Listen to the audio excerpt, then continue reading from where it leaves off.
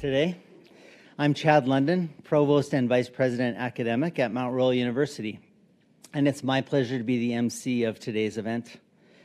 As we start, I would like to acknowledge that we are gathering on Treaty 7 territory. I honor and respect the land and the cultures of the Siksika, Piikani, Kainai nations of the Niitsitapi Blackfoot Confederacy, the Dene of Tsuut'ina Nation, and the Chiniki, Bearspaw, and Wesley nations of the Yahe Nakota. I also acknowledge this land is home to Métis Region 3. Welcome to Mount Royal University, located in Mohkinstsis, which is the Blackfoot name for the city of Calgary. I'd like to start by recognizing our guests today.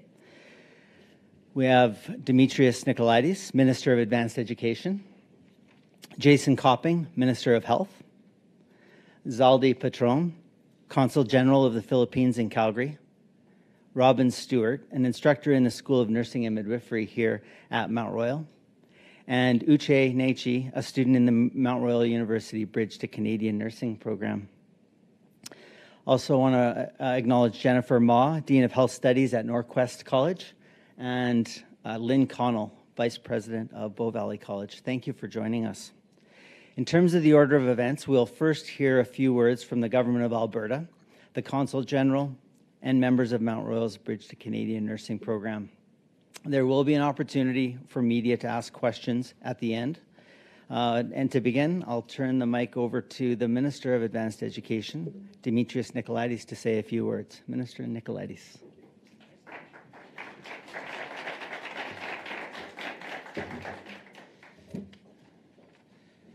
Well, Chad, thank you so much. And um, good afternoon, everyone. A long time no see. I think we were here about a week ago um, regarding uh, a, an exciting announcement at that time for a new, uh, in the development of a new bursary for, for nursing students in particular. And I'm um, happy to continue to build off that a little bit more today. I want to thank the guests as well that uh, Chad mentioned and uh, so happy to to have them all here. Um, and as well, really excited uh, and, and, want to thank Uche for being here to speak. Uh, a recent student I, I, learned has just graduated. I think it was uh, or completed her program. I think it was about a month or two ago, and uh, now uh, working at a very busy Peter Lougheed Hospital hospital and providing her uh, services and her skill uh, at the level that uh, they're supposed to be at. And really excited to hear a little bit more from her later on. Uh, and indeed, I'm sure there are a few people in this room here today who remember when we were here in October of last year to announce uh, some exciting new initiatives uh, in the space of internationally educated nurses. In particular, we announced some initial funding to expand nurse bridging programs, and we also announced the intent to create a new bursary for internationally educated nurses. Um, as well, right in this very room at that time, we signed a new MOU with uh, the government of the Philippines to help bring more Filipino nurses to Alberta. And at that time, we heard from Hannah, uh, a, cl- a, classmate I learned of Uche's, um, a student at the uh, Bridge to Canadian Nursing program, of course, right here at Mount Royal University. Hannah came to Canada from Lebanon, which I think is, was about eight years ago now.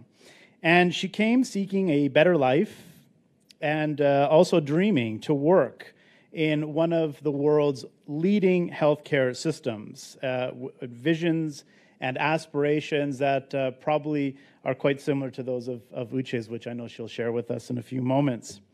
But uh, because of the licensing process that Hannah and others uh, had to uh, experience through, she had been out of practice for seven long years.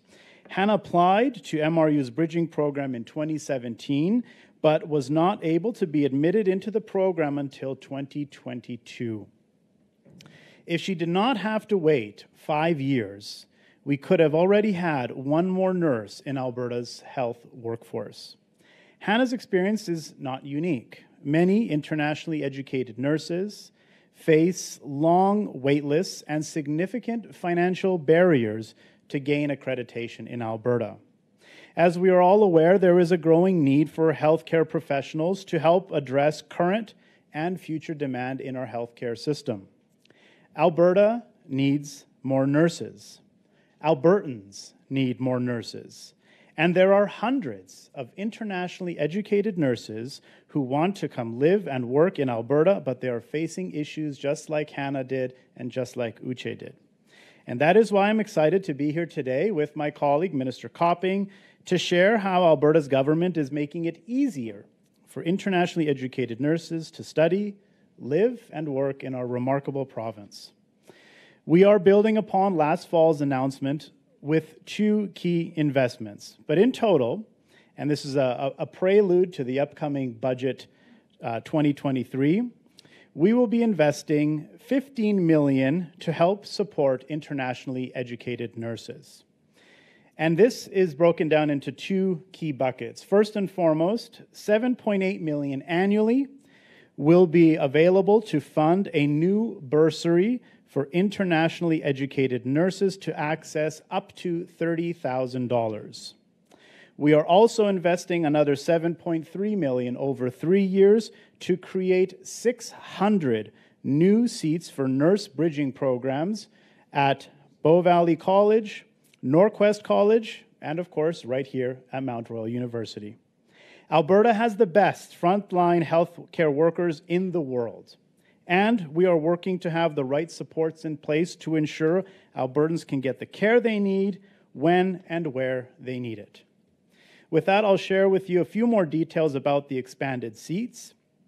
With this new investment, Mount Royal University will add 256 new seats to its registered nurse bridging program. Bow Valley College will add 120 new seats, and Norquest College will add 250 new seats to their respective bridging programs. These new seats will start to become available in the 23 24 academic year. And I just want to emphasize how important this investment is.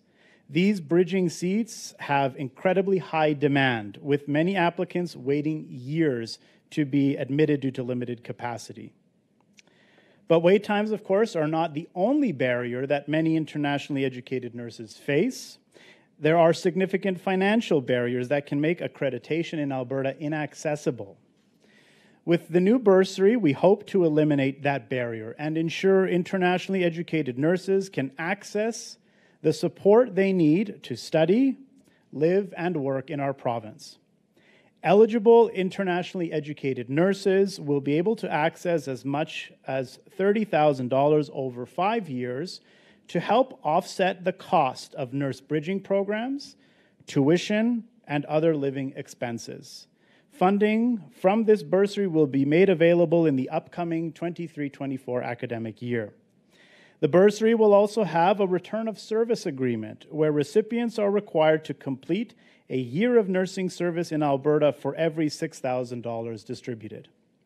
This will enable these nurses to work in our province, particularly in areas that are seeing nursing shortages, helping keep our healthcare system strong both now and well into the future.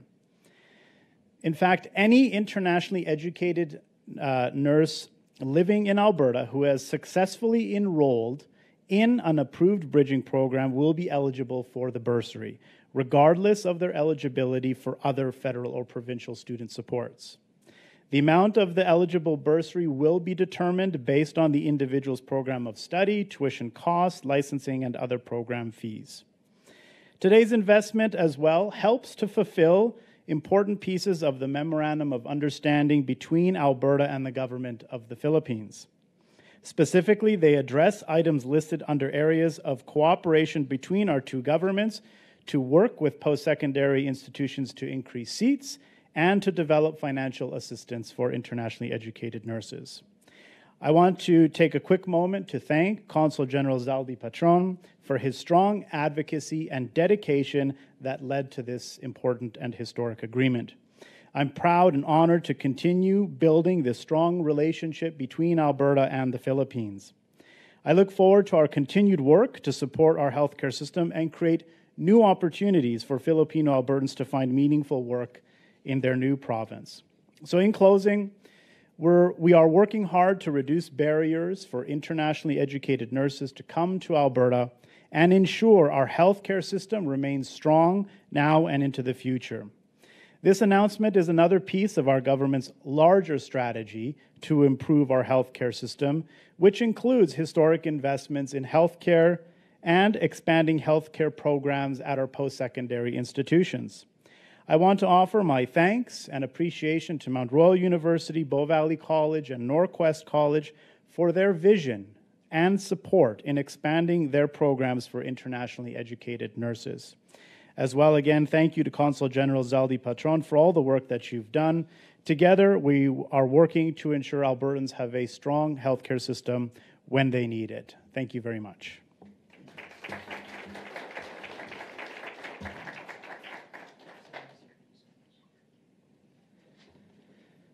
Thank you, Minister Nicolaides. I would now like to invite Jason Copping, the Minister of Health, to the podium.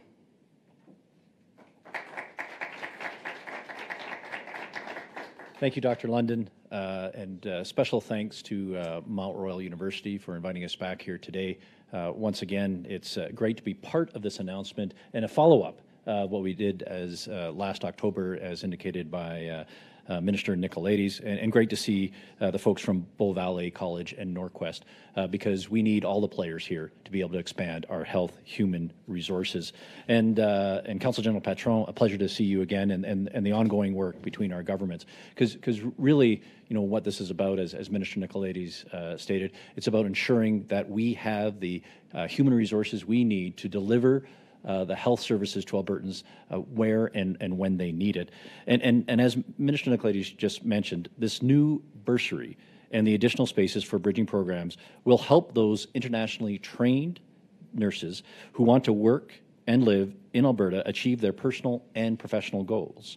By removing substantial barriers for these nurses, they will be able to bring their training and experience to communities across our province.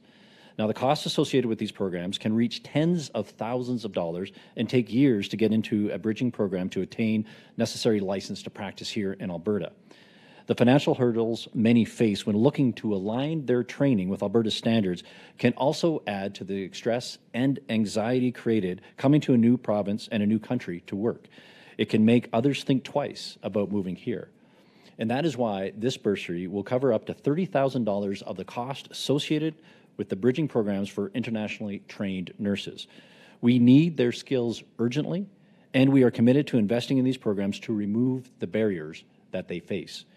Getting a spot in and completing bridging programs are, can often be a slow and frustrating process that, until now, has prevented many of these internationally trained nurses from pursuing their careers and doing the job that they're eager to do and, quite frankly, have come to Canada to do. And all the time it takes to accredit these nurses means we are waiting longer for more healthcare workers. Of course, all of us here today know that Alberta needs all the nurses that we can get. And we are working hard to address the urgent staffing requirements in all parts of Alberta's healthcare system. And nurses are an integral part of that system.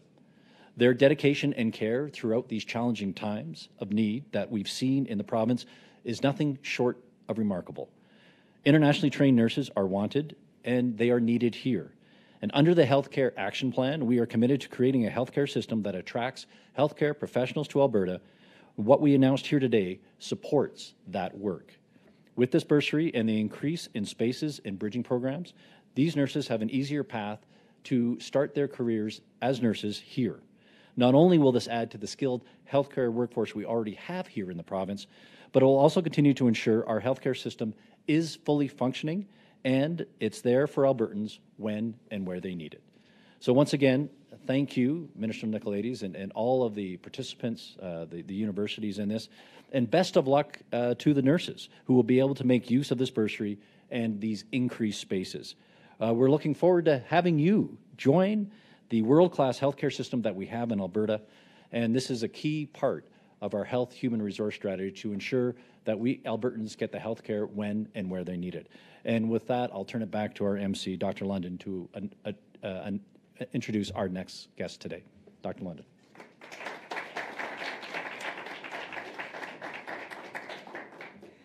Thank you, Minister Copping. I would now like to invite Consul General Patron to say a few words.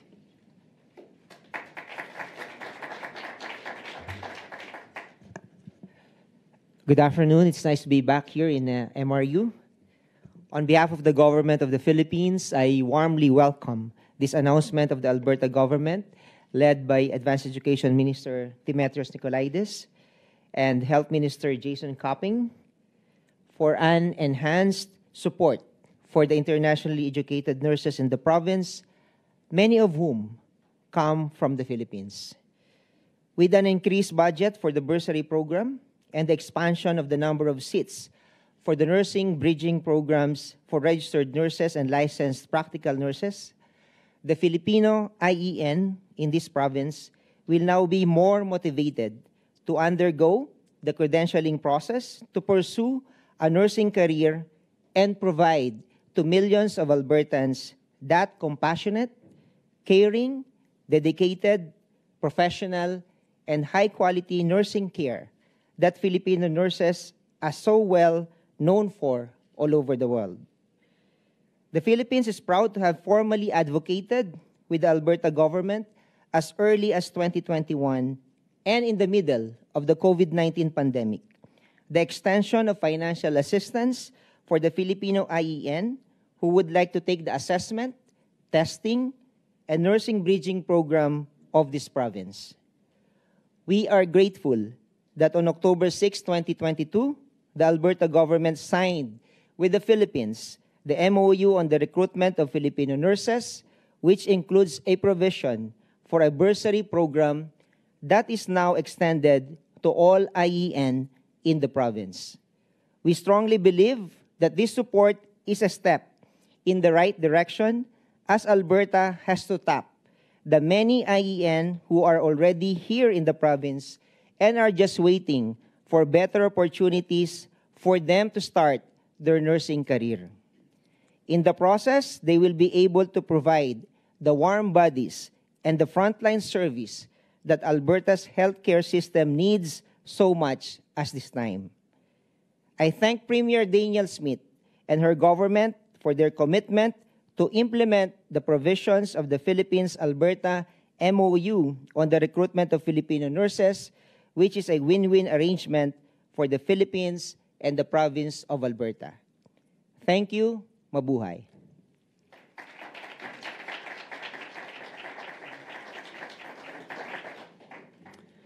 Thank you so much, Consul General.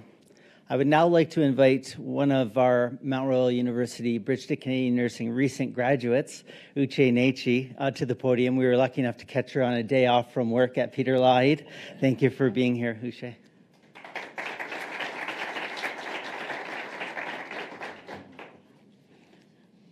Good afternoon, everybody. My name is Uche Chuku Nechi, and I completed Mount Royal University Bridge to Canadian Nursing Program last month. My nursing journey began in Nigeria. I became interested in nursing as a young child after seeing how the nurses took care of my grandmother during her final days in palliative care. I earned a degree in nursing science from Mount Madonna University, Nigeria, and practiced in a psychiatric unit, community, and medical unit before coming to Canada to join my husband and my family. I received thorough training in the Bridge to Canadian Nursing Program, from classroom learning to professional skill training, clinical practice, and health alterations and therapeutics. We are well prepared to become practicing healthcare professionals here in Canada. Access to financial support like the bursary announced today help alleviate some of the stress so that internationally educated nurses like me can focus more on our education and less on paying our bills. Opportunities to access financial support are so helpful. I know from experience that the career I have chosen can be as demanding as it is rewarding. Support like this could mean that we may not work we may not need to work so many hours at our part-time jobs or draw as much from student loan as we prepare to resume our careers. Now I am continuing my nursing career here in Alberta. My goal for the future is to further my career and specialize in psychiatric nursing. What I love about working in Alberta in the healthcare sector is that they create a, a supportive environment for all healthcare workers, including international educated nurses, and thereby bringing families together. Nurses are always needed. My classmates and I are here to answer that call.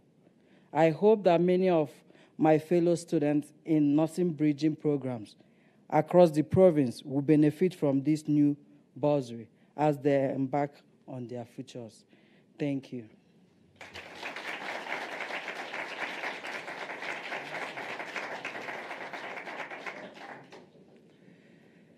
Thank you, Uche.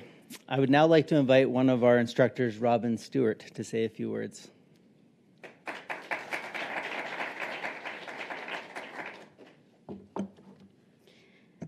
Hi, good afternoon. Thank you to the ministers, Consul General, and to Uche. This is very good news for Alberta, for our healthcare system, and for Mount Royal University's School of Nursing and Midwifery. I am an associate professor and the program coordinator for Mount Royal's Bridge to Canadian Nursing program. And today's funding announcement is so important for the internationally educated nurses working towards obtaining license and registration to work as RNs in Alberta. As Uche said, nurses are always needed, and professional nurses who immigrate to Canada but are not able to obtain or are stalled or delayed in obtaining a license are an untapped source of knowledge and skill. Internationally educated nurses have many strengths in both character and nursing practice and experience, including resiliency, determination, patience, a very strong work ethic, and cultural understanding. The Mount Royal Bridge to Canadian Nursing program began back in 2006, admitting 80 students every year. And in 2021, we expanded our program to accept 120 internationally educated nurses a year. Our students come from all over the world, including the Philippines, India, and other Asian countries, the UK, the US, and parts of the Caribbean. Our program focuses on professional communication in Canada, health alterations and therapeutics, health assessment, professional nursing skills, clinical reasoning and judgment, nursing theory, and of course, clinical practice in medical surgical environments. Coursework is additionally further focused on helping internationally educated nurses address practice and or knowledge and practice differences in specialty practice areas like mental health, child health, and family newborn health nursing. Our faculty and staff provide a supportive educational environment that builds confidence and competence as these nurses transition into the Canadian healthcare system. Many of our students do struggle to maintain a healthy and happy work school life balance and the majority of our students work and care for families, leaving them little time for socialization or study. This new support will allow students to focus more time and energy on their studies and provide them with the opportunity to perhaps engage in more university activities. Nurses who have gone through our program, like Uche, are able to contribute in so many positive ways to our healthcare system and we are very proud to make this possible for them here at MRU and make this possible for all Albertans. Thank you.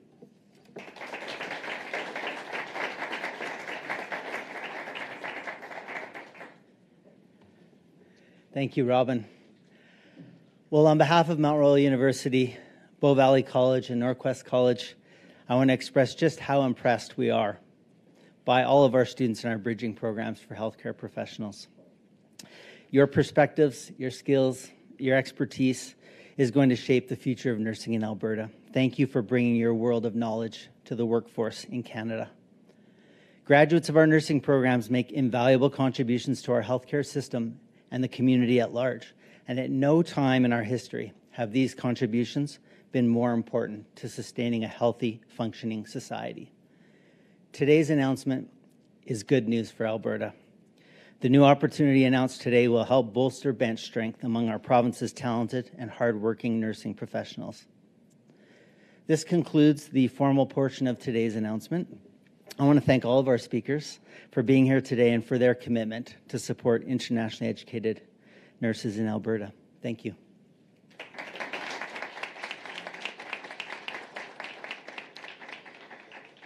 We'll now begin the media Q&A portion of this announcement. We are running tight on time today, so we're going to be starting off with one question, one follow-up per outlet and see how we're doing for time there. Uh, I would now invite on-topic questions in the room to make your way up to the mic, and that's where we'll start.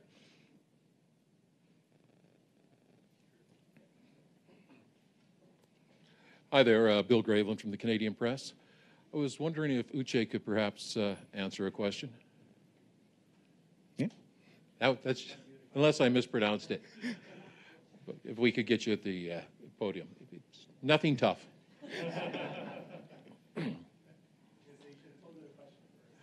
well, first question: Could you spell your name U C H E and your last name?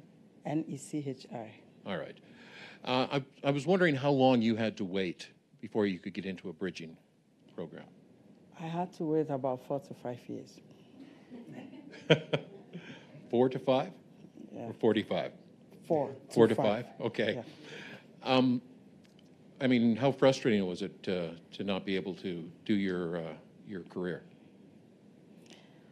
Well, I think uh, um, it's not really frustrating, but because there are so many other things that we, we are doing at this time, we are waiting for the program. But at some point, you have to think about, okay, I really wanted this, but I mean, it's all about balancing life and family and the, the school. Thank you. Yep.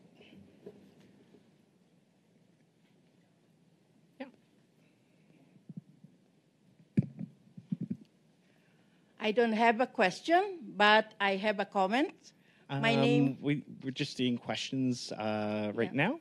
Um, if you want to leave a comment to the end, we can okay. do that afterwards. So, um, a question for the honorable ministers of uh, education and health. Um, our membership are very happy, but the questions that they have right now is uh, from the process perspective, who would be the who would be the organizations that are tasked to actually manage the different bursary that this program is giving? Sure. Thank you. Uh, thank you for the question. Uh, so the, the bursary will be will be managed by the government of Alberta. Will be managed by the Department of uh, the Ministry of Advanced Education. Um, as well, we are working, as I mentioned, you know, very closely with Mount Royal University, Norquest, and, and Bow Valley, and so we will be able to to see students that are enrolling in the program and and work with them to make the the bursary and the supports available once once they've already registered. So that's they don't have to go look and apply for it anywhere if they're if they're um, registered for the program, they will be automatically considered.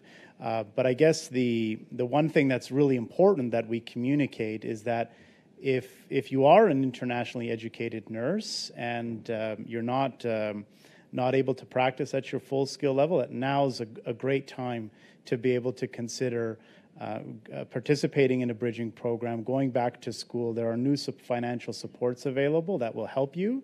So I, I think that that's perhaps the, the biggest takeaway that we can leave and hope to encourage more people and more internationally educated nurses out there in our province to take advantage of one of these incredible bridging programs and the bursaries that are now available.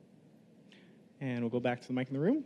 Uh, Tyson Fedora with CTV. Uh, Demetrios, for you or either Health Minister Copping. Uh, with these 600 new seats, or a little more than 600, uh, when will we see that impact uh, maybe on the healthcare system? So when these these uh, nurses do come in and take the bridging program, how soon could we see them actually working in the healthcare system? Sure. Well, and that's one of the, the benefits of the bridging programs. It's, uh, of course, they're tailored to individuals who already have some, some qualification.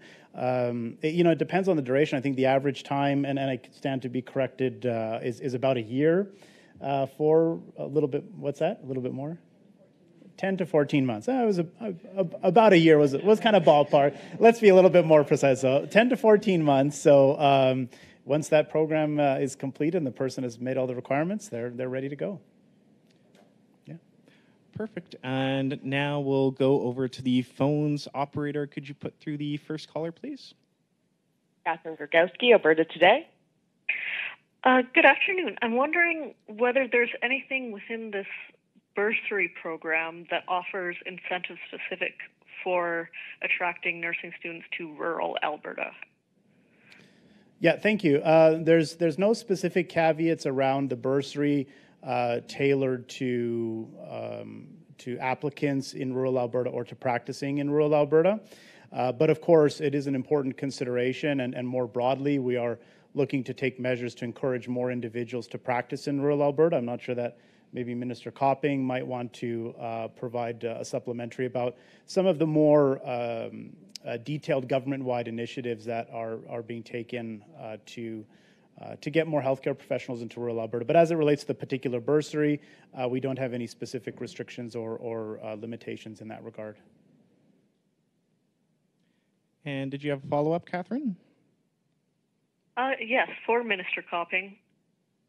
Um, the United Nurses of Alberta has sent a letter um, with some suggestions on recruitment and retention of nurses. Um, they say they've received a letter acknowledging the receipt, but that you haven't yet taken them up on their offer to engage on implementing some of these solutions. I'm wondering why you haven't done that yet and whether you plan to do that in the future. Yeah, so I did receive their, their letter. I'm thankful for some of their suggestions. We're looking at those suggestions and others as part of our um, our health human resource plan, and and uh, did have an initial conversation with uh, with UNA. Uh, we'll follow up with a with another conversation down the road. Uh, in that regard, because you know we do know that we need more nurses. Um, it's all about uh, uh, retention uh, and attraction. Um, and, and this is the announcement that we have today is, just one part of uh, our broader approach in terms of uh, more supply. You know, we have some, you know, great internationally educated nurses already in the province. They can't practice to their full scope. So this programs like this will actually help in uh, improve supply for for nurses. And and then other programs, you know, for example, you know, UNA and you know AHS, they have a, you know, as part of the agreement that they reached, funds put aside for you know, attracting and retaining uh, nurses in rural areas. Uh, and we're going to continue to do work on you know things like this to increase supply generally, uh, but also other programs. So stay tuned. Thank you. And that looks like all of our questions for today. So that'll conclude the Q&A and this announcement. Thank you everybody for joining us.